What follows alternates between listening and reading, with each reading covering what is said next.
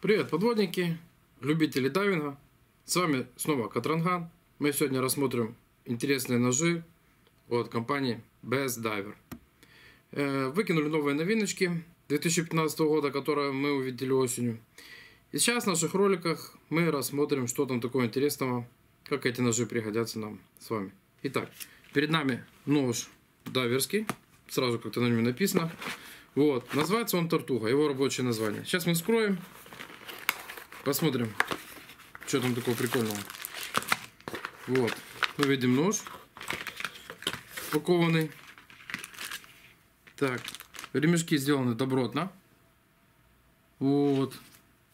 Будут крепко держаться с фиксатором остаткового ремешка. Вот, значит, это говорит о том, что фиксация будет надежна. То есть, как для подводника, так и для дайвера.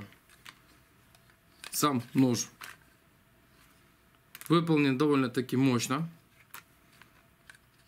Изъятие при нажатии серой кнопки. Видим, что нож довольно-таки рельефный. Имеет серейторную заточку. Сама сталь ножа довольно-таки толстая. Это говорит о том, что нож предназначен для дайвера. Вот. Сзади мы видим крепкое основание, которое можно использовать в виде молотка, либо же подать сигнал под водой. Определенно, чтобы вас услышал другой дайвер, либо же приближающийся подвох. Заточен довольно-таки серьезно, имеет такую гарду сильную. То есть, если попробовать нам его поломать, довольно-таки прочный. Для каких-то дайверских работ, например, под водой, там, технических, либо же просто отшкрябать, что-то открутить, там, э, выколупать. Ну и как для подвоха, конечно, он уже будет тяжелый, но опять же, кому что нравится. Если мы посмотрим на систему, которая его фиксирует, нажимая вот сюда, мы видим, что пластина снизу держит его в этих пазах. Сейчас мы его ставим назад и увидим, что нож довольно-таки сложно потерять. При нажатии он изымается. Сзади мы видим пазы для ремней. То есть крепить мы его можем вот таким вот образом. Просовываем ремешки. Вот. И у нас происходит крепление. Так, проверим его режущие свойства. Для этого мы взяли довольно-таки один из серьезных линей, который используется у подвохов как рабочий 2-миллиметровый пеленгасовский линь. Сейчас мы проверим, как он будет резаться.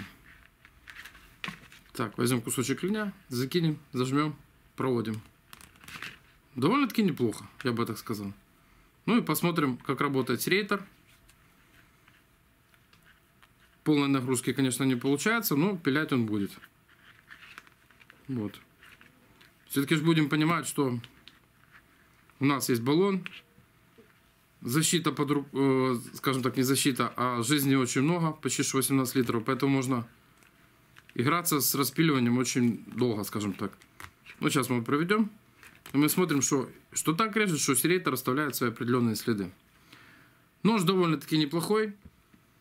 Опять же говорю, кому как нравится, можно его использовать. Кто хочет э, его использовать как для подвохов. Есть любители массивных ножей сразу, чтобы вместо разгрузки на ноги.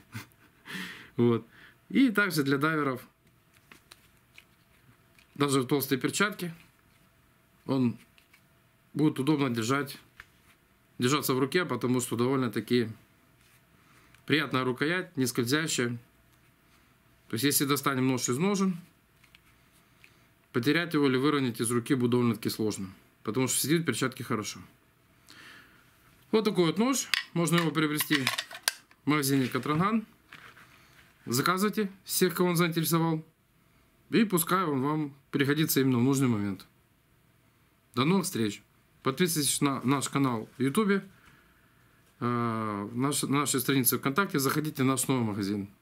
На Островского 60. До свидания.